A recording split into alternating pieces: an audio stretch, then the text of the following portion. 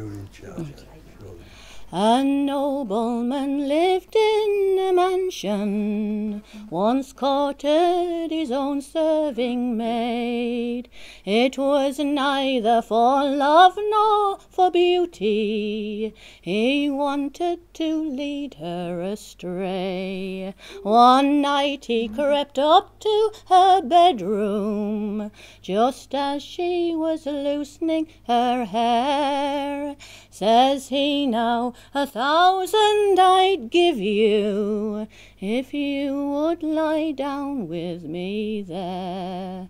Well, I know what your thousands of pounds would be a baby to nurse on my knee, and me and my baby would perish while you in your mansion would be. When he saw she would not be persuaded, he promised to make her his bride.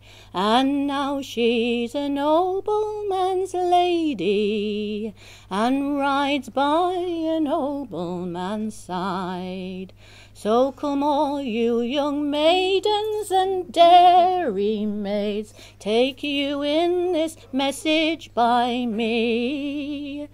Keep all those brave lads at a distance, then ride in a carriage like she.